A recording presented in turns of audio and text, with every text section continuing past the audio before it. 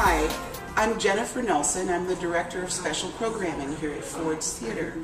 And I've chosen for my favorite book in the stack the autobiography of Elizabeth Keckley, which is named, as you see here, Behind the Scenes in the Lincoln White House.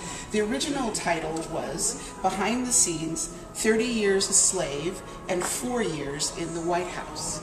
Elizabeth Keckley was the seamstress to Mary Lincoln for the entire time that the Lincolns were living in the White House. During that time, she also became Mary Lincoln's closest friend and her confidant. Elizabeth Keckley's book is a detailed account of her time spent in the White House, and she wrote about not only what was happening with Mrs. Lincoln, but what she observed happening with the entire Lincoln family. So of course she had a relationship with Mr. Lincoln as well as with the children. So in her book, there are very intimate accounts of what daily life, domestic life in the White House was like.